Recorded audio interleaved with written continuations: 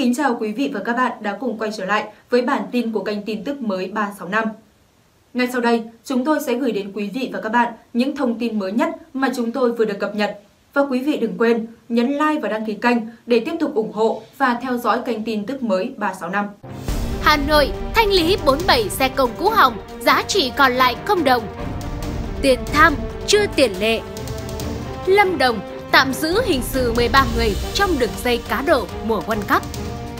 Đề xuất Quốc hội họp bất thường xem xét nhiều nội dung quan trọng.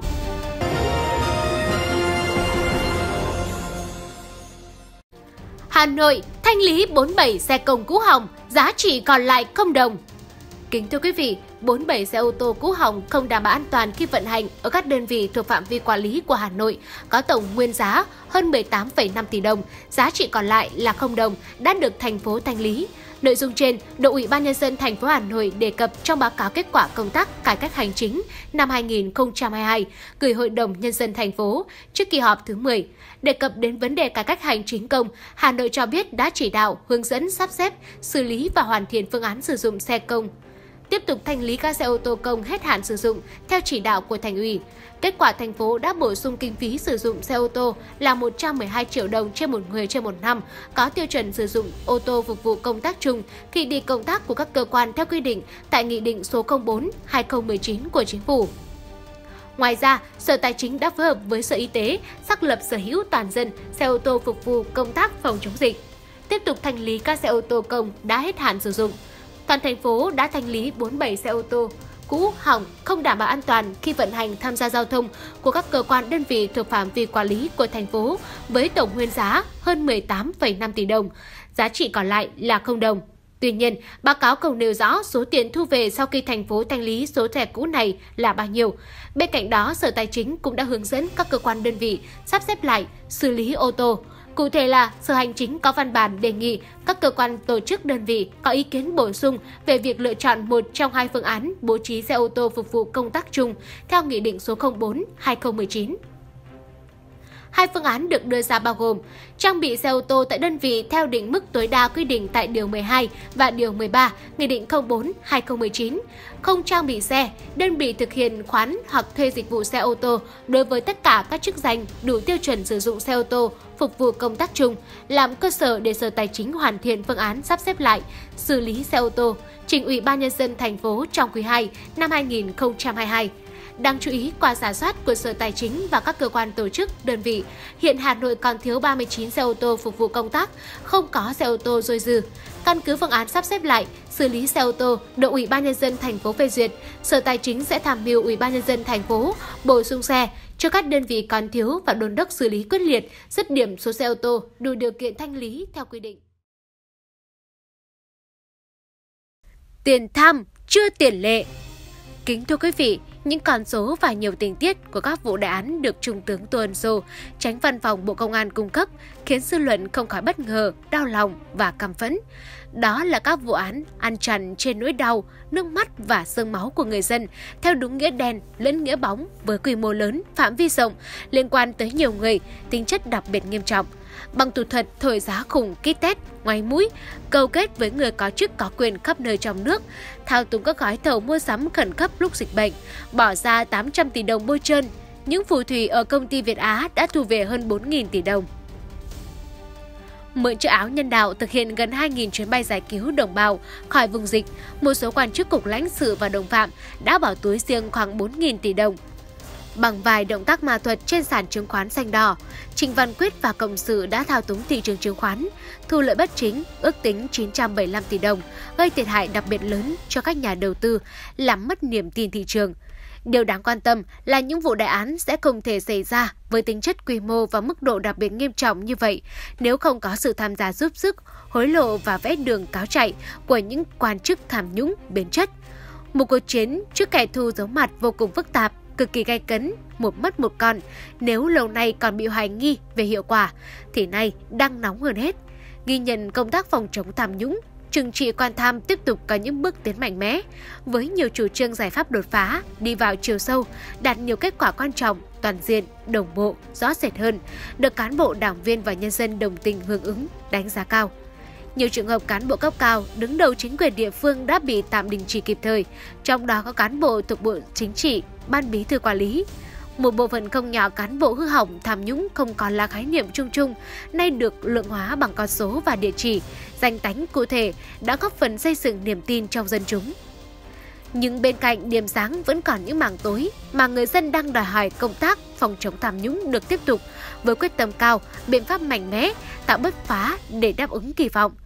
Kết quả khảo sát tham nhũng từ góc nhìn của người dân, doanh nghiệp và cán bộ công chức do Thanh tra Chính phủ phối hợp với Ngân hàng Thế giới thực hiện gần đây đã cho thấy hơn 90% số người được hỏi tin rằng đối tượng tham nhũng chưa phải chịu những hình phạt thích đáng. 80% trả lời rằng chưa có sự chú trọng làm trong sạch đội ngũ cán bộ và từ 76 đến 82% cho rằng các biện pháp phòng chống tham nhũng còn gian trải, vẫn còn thiếu trọng tâm trọng điểm. Bên cạnh các biện pháp quyết liệt để phát triển hành vi tham nhũng kịp thời, xử lý triệt đề phần ngọn thì cần giải quyết phần gốc, tức là nguyên nhân, nguồn gốc của tham nhũng bằng các giải pháp đồng bộ, hoàn thiện bộ máy, cơ chế chính sách pháp luật, kiểm soát quyền lực, thực thi công vụ liêm chính, một hệ thống phòng ngừa và giải quyết xung đột về lợi ích đang là phần cốt lõi của nền tảng phòng chống tham nhũng. Việc hoàn thiện hệ thống pháp luật và cơ chế điều chỉnh xung đột về lợi ích sẽ giúp xử lý được những thách thức đang nổi lên về nhóm lợi ích, phát huy vai trò tích cực của những nhân tố và lực lượng tích cực đấu tranh. Cần kiên kết hơn nữa, rất khoát và rất khoát hơn nữa, xử lý, quan tham, ngăn chặn từ xa các thủ đoạn mới, tinh vi, hòa mỹ, lợi dụng chính sách để trục lợi, chặn đất các khâu then chốt trong chuỗi cầu kết phạm tội có hệ thống, chọn các điểm nút là quan tham, có chức có quyền. Cần có biện pháp mạnh, hiệu quả để thu hồi triệt đề tài sản, tiền bạc tham nhũng. Nếu không, quan tham trách nhận hy sinh để bố củng cố đời con, tìm cách bỏ rút tài sản công, ăn trên xương máu đồng bào. Người dân mong lắm tay. Lâm Đồng tạm giữ hình sự 13 người trong đường dây cá độ mùa World Cup. Kính thưa quý vị, Công an tỉnh Lâm Đồng vừa triệt phá nhóm cá độ bóng đá World Cup 2022 với tổng số tiền giao dịch khoảng 35 tỷ đồng, bắt giữ 13 người. Cụ thể, ngày 27 tháng 11, Công an tỉnh Lâm Đồng cho biết đơn vị vừa bắt giữ 13 người để điều tra về hành vi tổ chức đánh bạc và đánh bạc trên Internet dịp World Cup 2022 tổng số tiền giao dịch khoảng 35 tỷ đồng. Nghi can cầm đầu là Lê Minh Hiếu, 35 tuổi, ngụ tại Hòa Huy Tập, phường 3 Đà Lạt và Huỳnh Ngọc Quang, ngụ tại số 29 Thiên Thành, phường 4 Đà Lạt. Những nghi can khác bị công an thành phố Đà Lạt bắt giữ bao gồm Nguyễn Thái Mão, 47 tuổi, Nguyễn Hữu Đức, 58 tuổi, Đặng Doãn, 61 tuổi, Nguyễn Văn Tô, 40 tuổi, Hồ Văn Dầu, 28 tuổi, Dương Văn Đen, 40 tuổi, Hồ Trung Hậu, 62 tuổi, Lê Nam, 58 tuổi, Phạm Hoàng Vũ, Hoàng Văn Sĩ, Lê Quang Trung, tất cả đều ngụ tại thành phố Đà Lạt. Từ đầu tháng 8 năm 2022, Quang quen Hiếu, biết Hiếu có trang mạng cá độ bóng đá trực tuyến bóng88.com. Quang ngỏ ý muốn được giao tài khoản trang web này để sử dụng tham gia cá độ bóng đá. Quang chuẩn bị hai bộ máy tính bàn và hai máy tính sách tay đặt tại địa chỉ 29 Thiên Thành, Đà Lạt để phục vụ cá độ các trận đấu World Cup 2022, đồng thời tổ chức cho các con bạc tham gia cá độ. Hiếu mở 6 tài khoản cá độ bóng đá trực tuyến, nạp điểm vào các tài khoản và giao cho Quang. Hiếu và Quang quy ước một điểm tương ứng với số tiền 30.000 đồng. Theo bảng sao kê từ các tài khoản, Quang đã tham gia cá độ từ các tài khoản này tổng cộng là 6.584 lượt với 93.770 điểm. Hiếu còn giao các tài khoản cho ba người khác là Vũ, Sĩ và Trung để tổ chức cá độ bóng đá Bước đầu, cơ quan chức năng sao kê tất cả các dữ liệu có liên quan đến việc cá độ từ tài khoản của Hiếu, xác định từ tháng 8 cho đến tháng 11 năm 2022, Hiếu tham gia đánh bạc trực tuyến 16.730 lần, tương ứng với 1 triệu 141.651 điểm. Vào tối 23 tháng 11 vừa qua, khi các trận đấu World Cup 2022 đang diễn ra, Công an thành phố Đà Lạt đã bắt quả tang 9 nghi phạm đang ghi cá độ bằng tiền mặt tại nhà của Quang. Tại đây, cơ quan chức năng thu giữ 4 tờ giấy ghi nội dung cá độ bóng đá với số tiền thể hiện trên giấy ghi độ là 18,1 triệu đồng. Thu giữ tăng vật liên quan gồm hai bộ máy tính bàn, hai máy tính sách tay phục vụ cá độ bóng đá qua Internet. Đề xuất Quốc hội họp bất thường xem xét nhiều nội dung quan trọng. Kính thưa quý vị, Tổng thư ký Quốc hội Bùi Văn Cường cho biết, Chính phủ đã có văn bản đề nghị chính Quốc hội về dự kiến 5 nội dung tại kỳ họp bất thường lần thứ hai. Vào sáng 28 tháng 11, tại phiên họp thứ 17, Ủy ban Thường vụ Quốc hội đã cho ý kiến về việc chuẩn bị kỳ họp bất thường lần thứ hai của Quốc hội và bước đầu chuẩn bị kỳ họp thứ 5 Quốc hội khóa 15.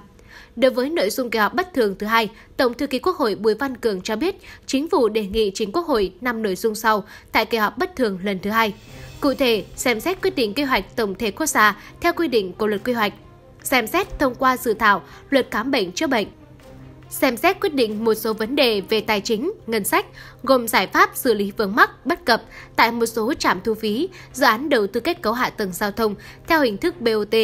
Việc điều chỉnh dự toán kinh phí bảo đảm hoạt động chưa sử dụng hết của Tổng cục Thuế và Tổng cục Hải quan năm 2021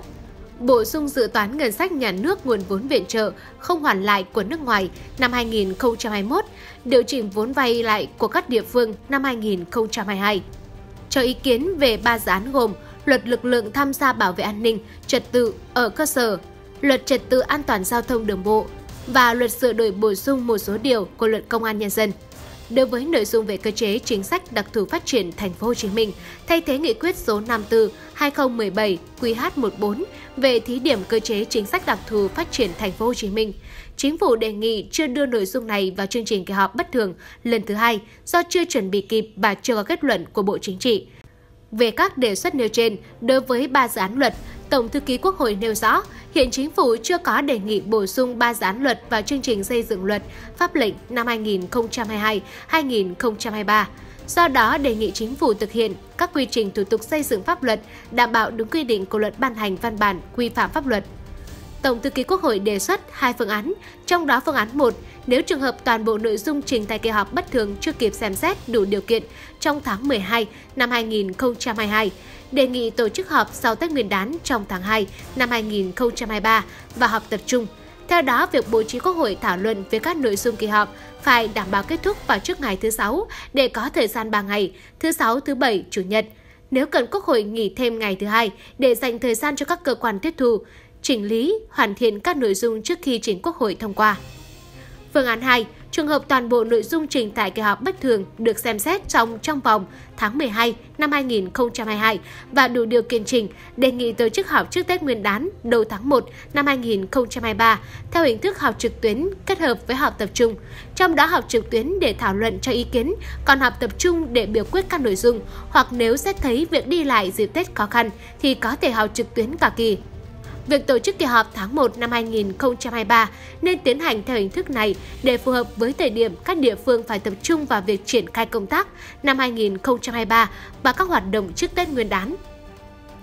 Với phương án này, có thể bố trí họp tổ và khoảng thời gian hợp lý giữa đợt họp trực tuyến và họp tập trung để các cơ quan tiếp thu chỉnh lý, hoàn thiện các nội dung trước khi trình Quốc hội biểu quyết thông qua.